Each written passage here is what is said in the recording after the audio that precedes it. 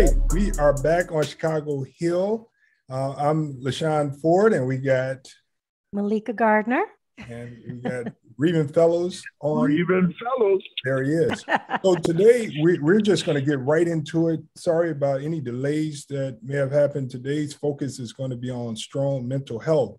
So before we mm-hmm. begin, we want to include trigger warning that the topics we'll be discussing today will include references to self harm and suicide. Your mental health and safety are our highest priority. So, if you feel these topics may trigger you, please protect your mental health and well being. Thank you so very much. And we'll go right to Revin Fellows for his opening. Uh, man, good evening, everybody. Um, just excited about the show, man, because Chicago Heal is definitely want to get the information out for not just to hear the conversation, but solutions. So, but I just want to add to uh, this topic brings to me a reminder of Phyllis Hyman, who was a great entertainment, was dealing with some of the similarities of depression and things of that nature also. And then uh, Sister Christy Wims, a friend of mine local who was crowned Miss uh, Cook County. And so I know it's a real tough place for those women in that profession. So I'm excited about hearing what we can talk about in terms of solution to help other people that may be having these conditions. So thank you. Thank you, uh, Brother Revin. And now Meleika to introduce our guest. Yes, yes, I am. Uh, I feel honored. Uh, when when I saw them on the screen, I was like, "Oh, I should have did more with my hair. Like, got myself together." we got. we have two beautiful women, but not just beautiful. I mean, their spirits are beautiful, what they're going to be talking about today, and they are badass, intelligent women. I, I'm like in awe. I was watching Erika Harold's videos and I was like, oh, this this woman, she's she's about it. She is about it. Absolutely love it. She is 2003 Miss America, and the woman is I can't wait to play play this clip um, of her in the competition. And she's also an attorney, so don't mess with her. Do not mess with her. And then we have licensed professional counselor Donna Tanner Harold. And we so need her today because the topic that we're going to be touching on, you know, I don't even know what to do with all those emotions. So I'm so glad that you're here today Donna, to help us through and help us to understand, you know, some of the things that uh, we go through, especially in, in our community, because we're not known for uh, taking the time to get help to to heal. We don't make the time because we're always in survival mode to keep going. So thank you so much for both of you all joining us today. It's an honor. Thank you. Thank you for having me. Yes, yes. yes. Thank you. And so you want to go, um, you want to do the um, clip right now, uh, Meleika? Yes, Titus Delvin. Um, if you want to run that first clip of Erika so people have an idea of uh, who we got with us today on Chicago Heal. yes, we're excited to have you, um, Erika, and um, our other special guests. And so we have a clip. Before we begin the first round of tonight's Miss America quiz, I'm going to ask, ask each of our five finalists a question about their platform, their commitment to community service. Remember, Miss America will spend the next year informing and educating America about this issue. We've asked the ladies to keep their answers to 30 seconds. We'll sound the chime when time is up. Ah, it was cute. Let's begin with finalist number one, Miss Illinois, Erika Harold. Hey, Erika Harold. Hey, how are you? I'm good. I'm good. Let's step up a little bit and look out. Your platform is empowering youth against violence. In a world where violence is so prevalent on TV and film, if you had a chance to address a group of entertainment executives, what would you say to them knowing that violence sells? I think it's a great question. And I would first and foremost explain to them that they have the power to change the culture of violence that is so pervasive in our country. We get tired of seeing Columbine, Santee, Jonesboro, where young people are become predators in their own classrooms. And I would challenge them as Miss America to change the culture of violence that we have and to start promoting entertainment medium that is more constructive and that's going to promote more, more better values for our society. Thank you very much. Please take your place at the podium. Miss Illinois. Yes. Bring me back. Meleika, you think um, she still has those same views? Let's hear from them. Let's hear from Erika and our other guests right now. Erika.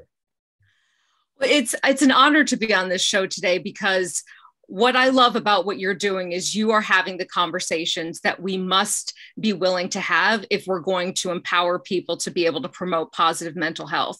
It's one thing to talk about it, but we have to be willing to have the conversations and take away the stigma.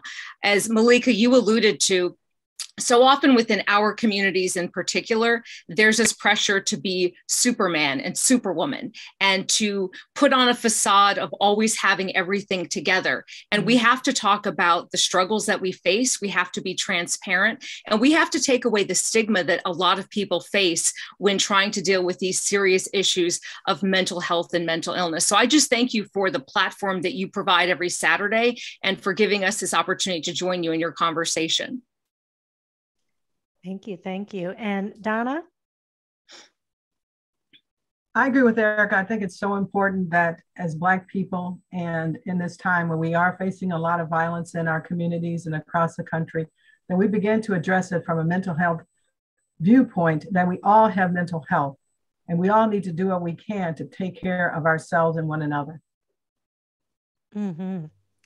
We have uh, one more clip to play. Um, many of you have heard the story of Miss USA, Cheslie Kryst, um, who recently took her life. And, uh, you know, many of us are trying to wrap our brains around it because she was so beautiful and just her energy on the screen was just so vibrant. And so it was just a shock to so many. And um, I, it, it's, it's great that you both are here to give us uh, some insight into uh, depression because it can it can be hidden and, and, we just don't see any signs of it. So, uh, Titus, if you can play the next clip. Fantastic, kind, generous. She was just one of those rare people that had a heart for people. That's Cheslie's grandfather, Gary Simpkins, remembering her with his first statement since her tragic death. To be extinguished so fast is just devastating. And you know that the only way you'll ever see them again is when you yourself pass away. We remember Cheslie as funny and, as so many have said, a beacon of light. Great. Good. One of Cheslie's mentors, Gayle King, poured out her heart online in this new essay for Oprah Daily. There was something so special about that sparkle of a girl. Just in December, we sat down and had had lunch together and we said isn't this great? Right before the holidays. Isn't this great? After the first of the year instead of zoom we can now start meeting in person. And we were very excited about that. I just genuinely genuinely liked her and cared about her. Gayle's CBS Mornings co host, our former colleague Nate Burleson, also checked in. We were just looking at some old footage of you and Cheslie in New York shooting promos together, and it's just, it's funny, it's light, it's, it's just, a, it's a great sort of peek into the relationship that you had with her. She would walk into the room and she'd be on 10. You know, it's, it's almost like she was floating in. I'm gonna miss that girl. I really am. Hey y'all, I do a lot to make sure that I maintain my mental health. Though by all accounts she seemed so in control, she did share some of her struggles, writing in Allure magazine in an essay last year. Turning 30 feels like a cold reminder that I'm running out of time to matter in society's eyes, and it's infuriating and she had spoken with so many about their battles. Gabrielle, you've been so open and honest about, you know, some of the challenges you've had, your mental health, even suicidal thoughts. Cheslie spoke with Gabrielle and her husband Dwyane Wade just last year. What do you say to someone at home who is feeling hopeless and just needs some encouragement? Take a lot more joy in the journey, but also therapy. Get it and, and have no shame about it. She talked with Mary J. Blige about the revelations that she made in her documentary, My Life. Most of the times I was just depressed and didn't want to live. You really went deep into mental health, which previously had a really big stigma around it, especially in the Black community. I had to show people where all this pain came from that was in the My Life album in the first place. And Taraji P. Henson shared her story about having suicidal thoughts in quarantine. I started having thoughts about ending it. Can you tell us how you were able to escape and how you stay positive now? Well, you know, you take each moment. It's not like I wake up every day and I'm happy, but thank God I'm in therapy. I can now identify when I'm about to start the tip down. In 2020, Cheslie spoke to the online edition of the collegiate newspaper The Hilltop for Mental Health Awareness Month. I try to set very clear boundaries. So even though I'm at home and I've got my computer and my phone with me, I'm done answering emails at six o'clock, um, and that helps me a lot. The then Miss Teen Universe DC Madison Pina, now a junior journalism major at Howard University, appeared with Cheslie. I want to make sure that mental health is not frowned upon, but it is understood by students and teachers alike. And Madison, with me now, after you appeared with Cheslie, did you form some kind of follow up relationship with her? Yes, actually, it was so amazing to have her reach out for her to take that time and speak with me. It's really incredible to see that she was willing to respond. I have to imagine this left you devastated, stunned, and shocked like the rest of us.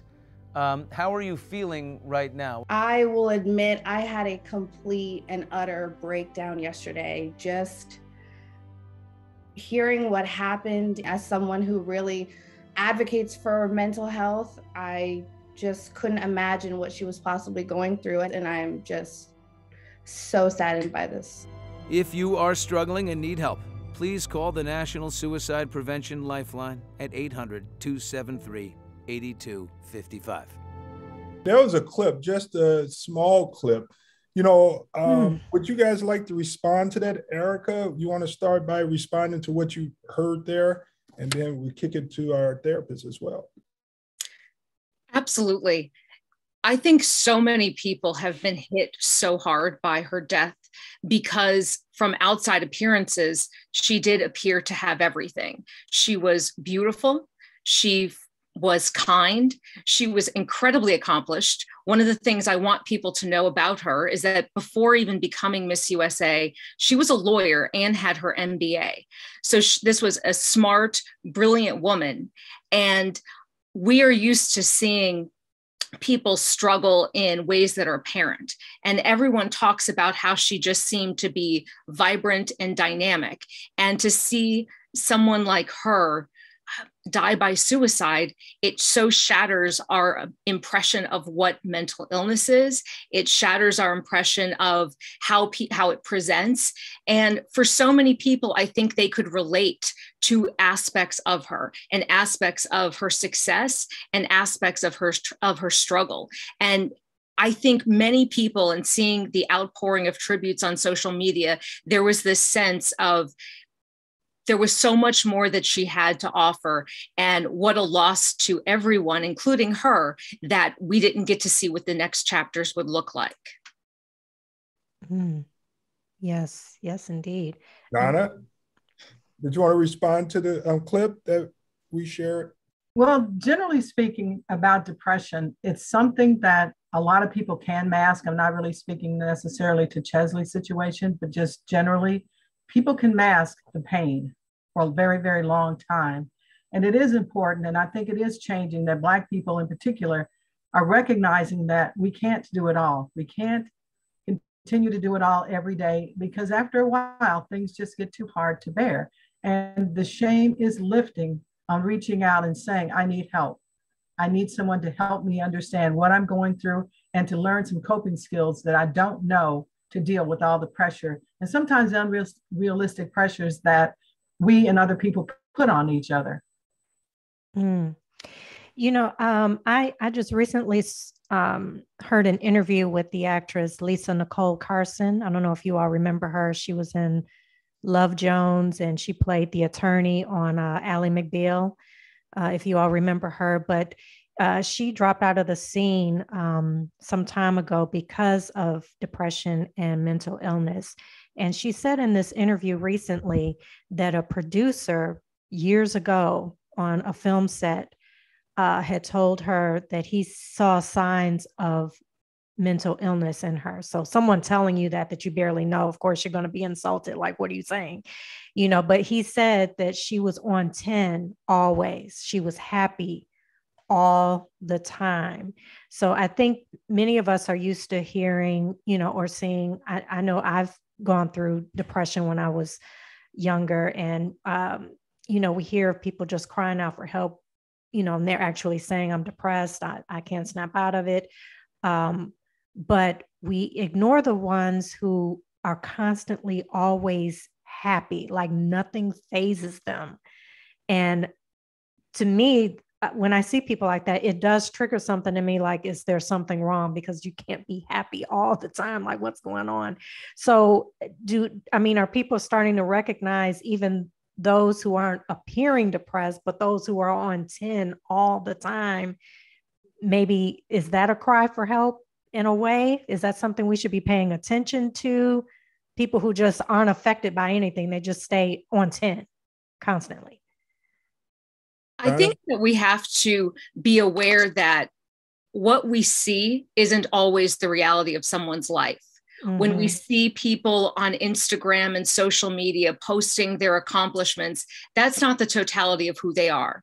And we live in a society where people are sort of don't feel comfortable sharing their struggles. And so we're not going to see pictures of the day when somebody feels sad or somebody's not achieving or accomplishing. And so I think we have to first and foremost be aware of the fact that what we see of people isn't the totality of who they are.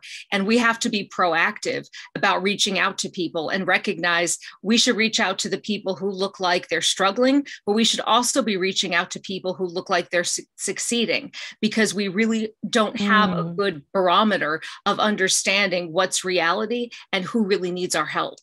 Mm. Mm. I think it's important that during COVID, we all got disconnected from one another. We weren't in contact, and there was a reluctance for anybody to say, I'm not doing well, because there was almost a pressure of being perfect. Oh, I'm going through COVID and this quarantine, I'm just fine. And that's really not realistic. So I think now, as we move forward and out of COVID, it's imp- so important to reconnect. And if you see mm. someone that doesn't, something doesn't ring true, that there could be something else, it's, it's important to explore, to dig a little bit deeper. Yeah. Mm. You know, wh- so definitely that could be a sign that things aren't perfect because perfection is unattainable.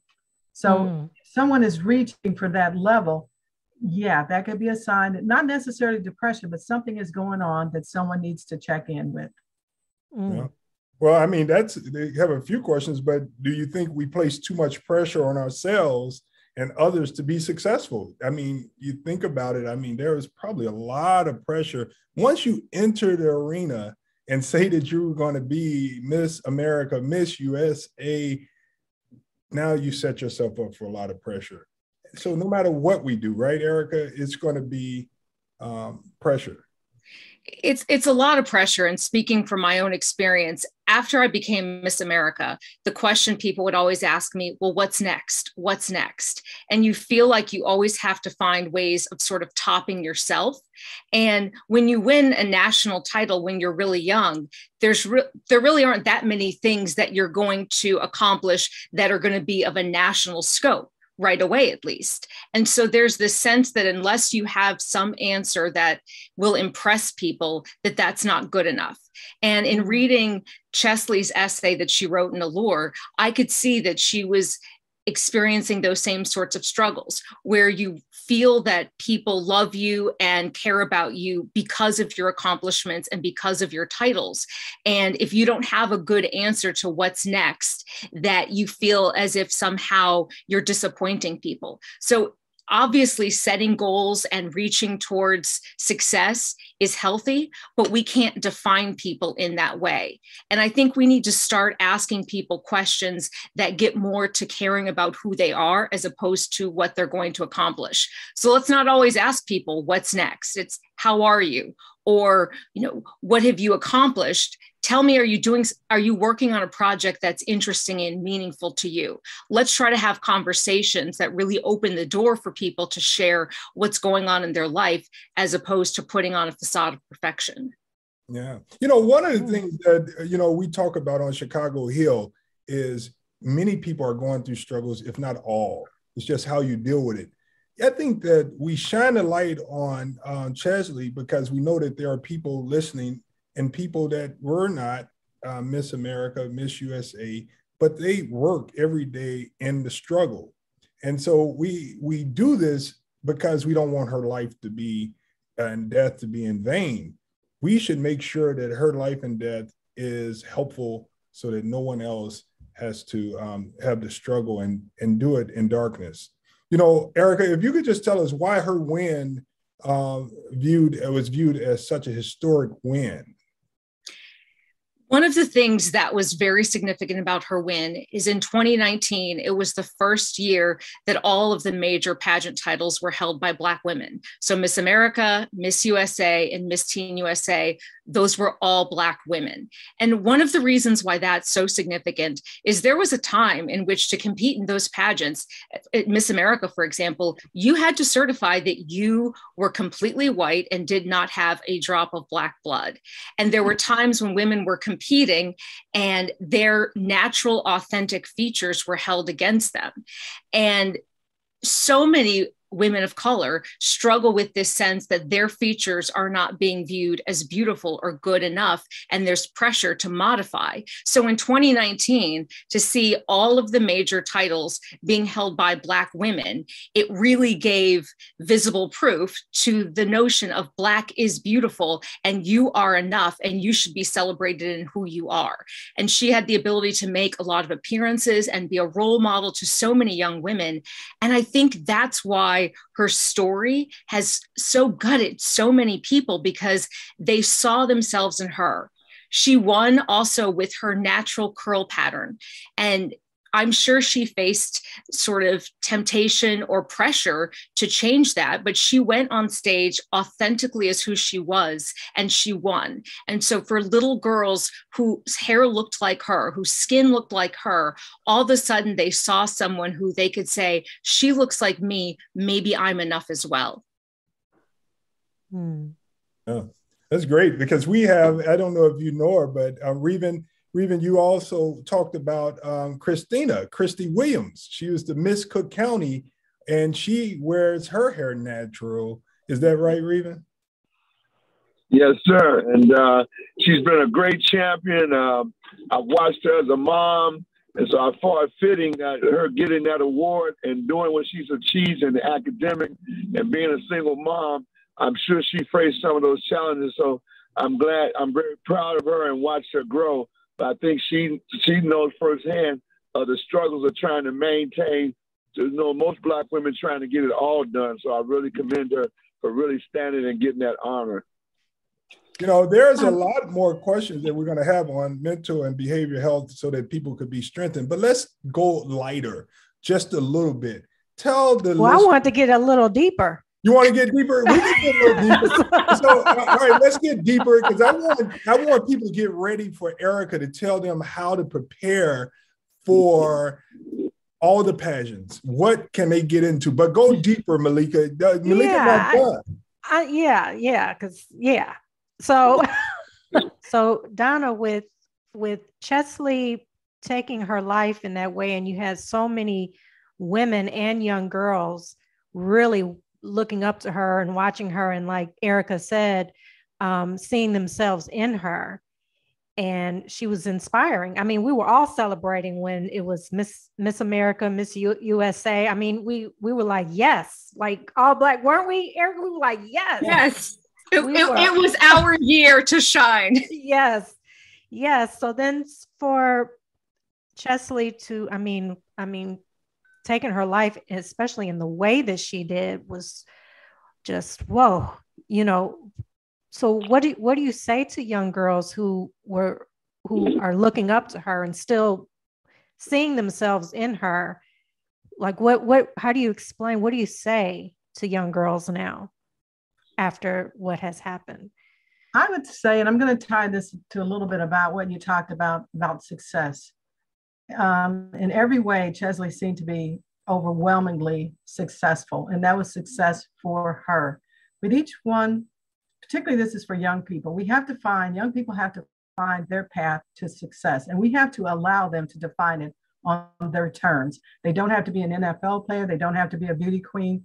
We can learn to accept and to rejoice with people who work a regular job, who take care of their kids, who are responsible, honest people. Because again, I think the pressure of being successful and what that means just adds to mental health struggles. Mm. Mm. I think I know a lot of young people that I talk to when they tell me about they want to be successful, they want to make something of themselves. I ask them, what does that mean to you? How would that look? What do you hope to accomplish in your life? Because I want them to get a sense of value that it doesn't, you don't have to compare yourself. You don't have to be like someone else. You can be happy and fulfilled in the life that you make for yourself. We have some callers. Um, let's go to caller number one. You have 30 seconds so that we get back to um, the discussion. Caller, you're on the air at Chicago Heal. Uh, yeah. Are you talking to me? Yes. Go right ahead. Thank you. Yeah. Is that uh, Sister Erika uh, on with you, uh, LaShawn? It is. If it's Erika Harrell, is that who you are referring to? Yes, yes. Yes. It's yes. me. Yeah, Say your name. I don't see your name, so she knows. Well, let me just tell you who I am. First of all, let me thank you guys for Chicago Heal. You know that this, this show means so much to our community, and I just urge you, uh, Rep Ford, keep up the good work. You and Sister Meleika and, and Brother Rivas. This is Brother Hall, Erika. Hello, how are you? Oh, I'm doing well. Let me just remind you who I am. I'm the brother that helped put the ship together for you out in Riverside with the lawyers. thank you. Thank you again. And thank you for connecting with us. Uh, no, no question, no question. Listen, I just wanted to say thank you for being the sister who you are and down to earth. You know, we, we, we really, really respect that. I know I do. And I just was so glad and thrilled to be in your presence. And listen, uh, I'm going to leave my number with the, uh, with the uh, screener and we need to make a connection on on another issue. Would you uh, see? Can you reach out to me? Absolutely, and thank you for those kind words. It really means a lot to me, and absolutely, we'll connect on any issue. Okay, thank you. and I'll make sure she gets your number. Um, thank you, brother Hall. Let's go to Frank. You're on Chicago Heal.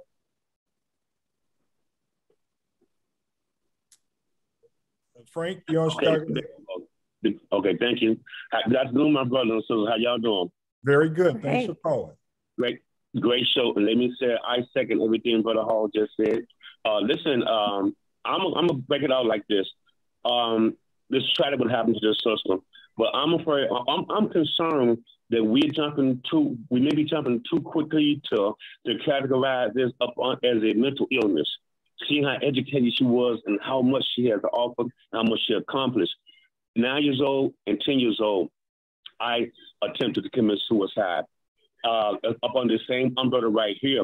Um, the point I'm trying to make just right here, especially when we're dealing with our young ladies, okay? We overlooking something I think is very important that can also cause a young person to want to commit suicide. It has to do with mental illness. So hold on, hold on, Frank. You make a strong, strong point. I know you went kind of fast. So you want to separate mental illness from suicide. I want to I want to set yeah, I want to say it may not always be mental illness. Okay. To, to, there's something just as strong out there, even maybe even stronger. Can we can we put a pin in there and let Donna answer? Yeah.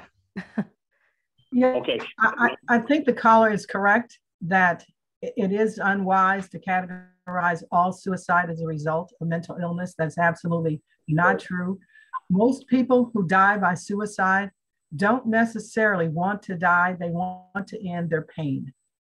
And there you go. And there's yeah. a difference. And so that's not a, and pain is pain. And the thing about suicide is that there are far more questions that are left for the survivors than answers, answers that you'll never get. Even if people leave notes, there's still nothing there. You weren't there, you didn't work with them every day to understand what they were going through and then why they came to that decision. So that caller is absolutely correct. It's not suicide is not always a result of mental illness. And there's a difference between mental illness and mental health. Thank you so very much, Frank. That was very good, Frank. Thank you. You want to close out with something? All right, Frank. Thank you for calling Chicago Heal. Let's go to Jay. You're on Chicago Heal. Yes, um, thanks for taking my call. Um, what you just spoke about kind of led into um, what I want to speak on at this moment. Um, sometimes um, people are, are, embarrassed and pushed into um, uh, suicide. Um, the, the, people play mental games with them, and that individual may not know how to deal with that issue. Um, Martin Luther King was tried. To, they tried to embarrass him, and to embarrass him. Um, they tried to embarrass him into committing suicide, and he wouldn't do it because um, he's mentally strong. So uh, um, this this lady could have um, been going through something that um, we are not aware of. I never even heard of her. I, I, I just started watching TV, so I, have never even seen it on television. You know, um, she could have been pushed into something. Some of these organizations, these Eastern Stars, these Masons, um, they they they, they want to embarrass you and break you down, and then build you up. You know, and some people have a difficult time with that. You know, and maybe there was something that someone knew about her, and they were, you know, going to expose her or something, and she couldn't take it. You know, so. Oh that's very true. Definitely hit on something right there. And thank you so much for that, Jay. Michelle, you on Chicago Heal? You know, I want to thank you and uh, Brother Revin specifically on this one because there are layers of support we all need. I don't care whether you have fame or or you are hiding somewhere and under a rock. Everybody needs layers of support. And I want to thank Brother Revin specifically because Miss Erika Harold has those layers of support I see coming through Brother Revin. That's why she called in today, I believe. And then lastly, I wanted to say, has anybody considered the possibility that media wants us to focus on a suicide when it could have been an assassination, a murder, with mm-hmm. intent, on, with with intent to boost mm-hmm. the suicide watch for the money. I mean, you know, we see a lot of this, and also for the shame of three black women winning in all categories. They had to mm-hmm. do something to take us down because we were rising. You know what I'm saying? Has anybody looked into the investigation of Michael Scott, for instance? Ain't nowhere in the world he shot himself with his hands tied behind his back and threw himself over in the river. Well, you know what I'm you. saying? It's thank those you. kinds of things that we just take for granted because media says. So yeah, Michelle is saying that uh, we, we, we, right about now. Michelle is saying that we got to make sure that we don't push um, push the um, suicide because the press is saying it that we have to make sure that we um, look at whether or not there's some foul play. But let's go right to uh, Erika. Once again, tell them who you are and and um, the strength that you have and where it comes from. That go ahead, Erika. Well, one of the things that I would want people to know is that I had an incredible support system growing up. I had incredible parents my mother, as you can tell right here, if you get to have someone like her as, as your mother, you have somebody who's your biggest cheerleader part of m- maintaining positive mental health for me was my faith. It helped me to have an identity that wasn't just about achievement, this sense that I had eternal value. And I believe that for every single person who is listening today. And what I would encourage every person who's listening is to recognize you are enough and you do matter. You don't have to be famous. You don't have to win titles your mental health matters and you matter to each and every one of us. And if you are having any kind of struggles, please do reach out and seek help because we want you here. Your life matters. And for any young person who's trying to find encouragement right now, do recognize that life right now is really tough for a lot of people. And if you're struggling, don't feel bad. We are in a pandemic there are people struggling with all sorts of issues, but things are going to get better. Keep setting goals for yourself, keep believing in yourself, and do not believe the negative things that other people may say about you because you have a worth that is separate and apart from what anyone may say about you or what you may accomplish. I think that we should also talk to Donna. Um, that's your daughter. So you got her head on right. That's very good. Um, uh, what, could you just tell us what um, can people do to try to sustain that positive mental health? Because many times people go to the health club and they think that they're you just want to be physically strong, but we have to be physically, mentally, and spiritually strong. What's your recommendation as a therapist on how people can sustain that positive mental health?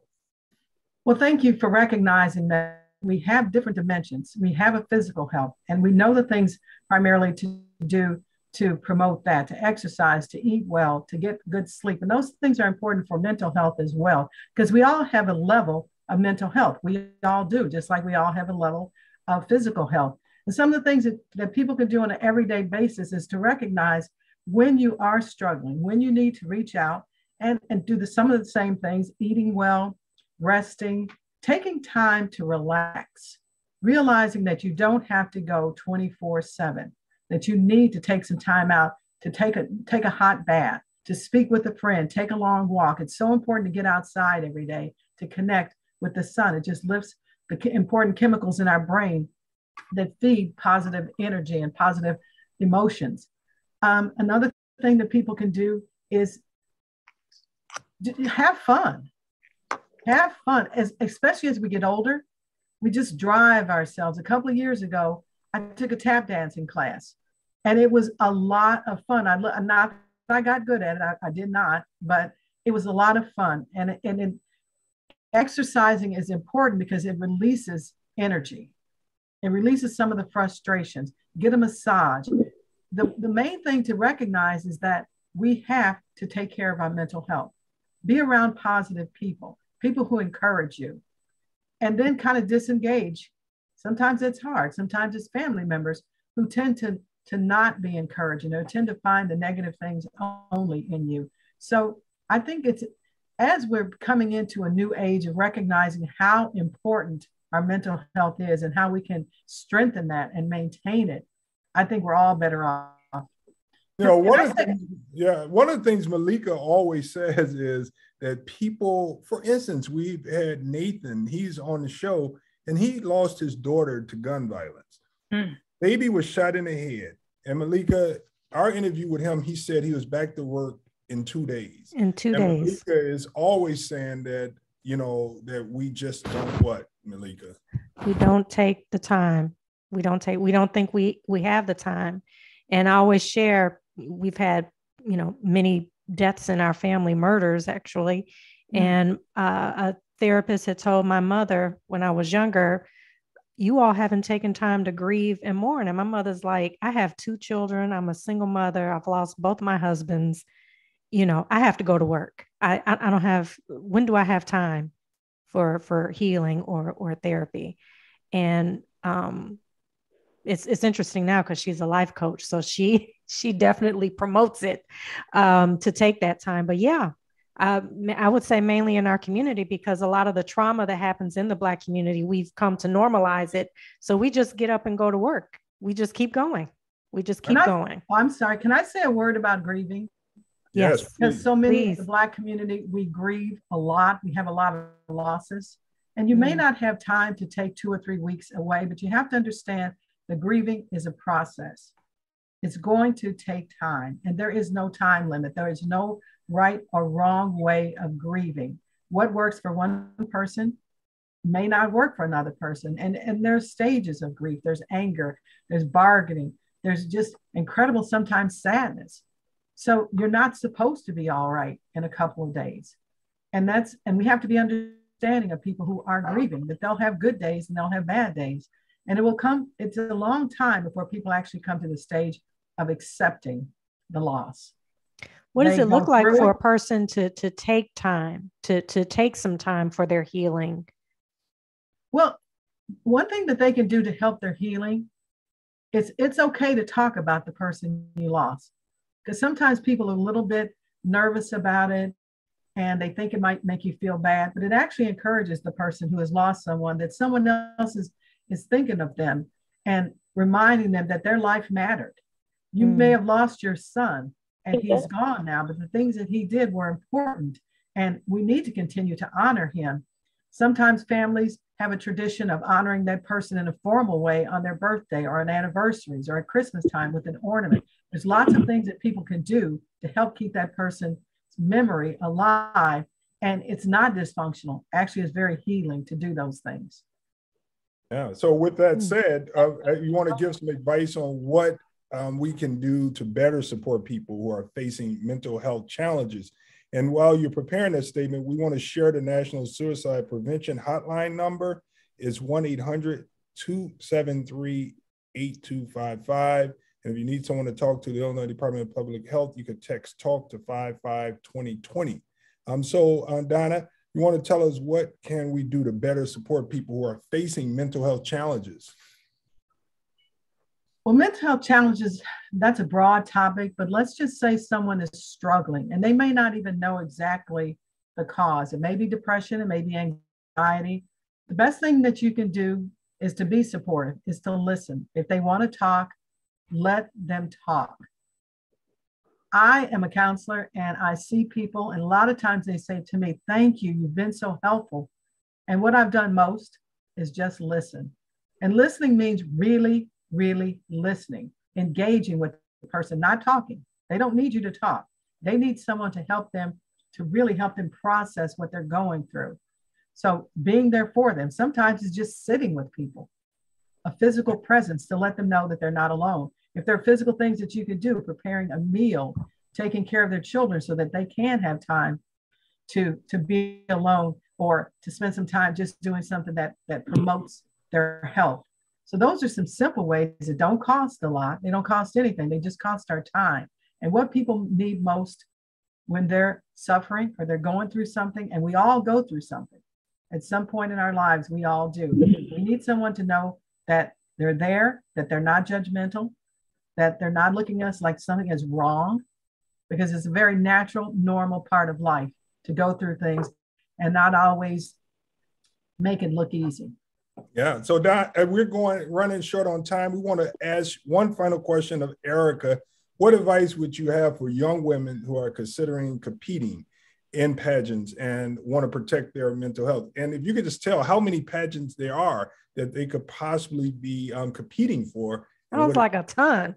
There, there are a lot of pageants you could compete in. And I would be the first to say competing is not for everyone because while there are opportunities and scholarship money that you may attain, I mean, that was my motivation to enter. I was able to pay for law school in its entirety through competing in the Miss America organization. And so there are positives that you can attain, but the reality is there are negative consequences as well. There are a lot of people who are going to give you negative feedback. There are people on social media who are going to say negative things about you. That's something that Cheslie alluded to in her essay. So, what I would say is if you're interested in competing, first and foremost, ask yourself what is the tangible goal that I hope to gain from this experience? If it's validation from other people or recognition, I would say that's the wrong motivation because you're going to find far more negative feedback from other people, and that may be difficult to deal with. If, however, you're interested in getting scholarship money, speaking opportunities, that's a good motivation to go into it. And then set up some real ground rules for yourself of how you're going to protect yourself. Set rules for who can interact with you. If people say crazy things to you in terms of feedback of lose this amount of weight change this hair color be willing to stand up for yourself and your own individuality. I would also say on social media, use the mute button, mute people who say negative things to you. We do not have an obligation to take in everyone's negative opinion about ourselves. That's part of us setting up healthy boundaries to be able to be successful. And the final thing I would say is be willing to share your story when I was Miss America, my platform was preventing youth violence and prevention because I was the victim of severe bullying when I was in high school and had to change high schools. And so I used my platform to show that even if you're Miss America, you can have been somebody that was targeted, discriminated against, and sort of persecuted by classmates. Be willing to tell your story, be willing to have a purpose so that your crown and experience can extend beyond just your own personal life. Thank you so very much, Erika and Donna, for your contributions to Chicago Heal. Reeve, you want to give your closing? We have um, 10 seconds. now, I just want to say to those women, stay encouraged. There's a lot of strong women in the Bible. And if you look at the uh, Sojourner Truth, Out of Be Well, look at them and then take from their strength during that time. And I think they can really have a historical content of the trials and tribulations that they may face and to be successful and encouraged. Thank you. Thank you. Donna, you want to give a, a 10 second closing? I really appreciate you having me on today along with Erika. I think it's so important that we talk about this and we talk about it in an open and honest way and answer questions and not be afraid to realize that we're not perfect. We all need help at some point and we have to learn how to do that and how to better take care of ourselves. Thank, Thank you. you very much. Thank you. And Meleika? Thank you so much to Erika and to Donna. Thank you. Thank you for all the knowledge and wisdom and the passion, compassion that you've given to our listeners today. And my word is I'm definitely about faith. Faith faith is everything. If you have that solid foundation in your faith, you can get through anything, absolutely anything. And um, Chicago Heal is always here for you. The door is always open and we all have a legacy that we want to uh, achieve and leave. Share um, the hotline with other people 1 800 273 8255. That's the National Suicide Prevention Hotline in Illinois Department of Public Health. Please text TALK to 552020. This has been another episode of Chicago Heal with LaShawn Ford, Meleika Gardner, and Revin Fellows, and our special guest, Erika and Donna. Thank you very much. See you guys next week.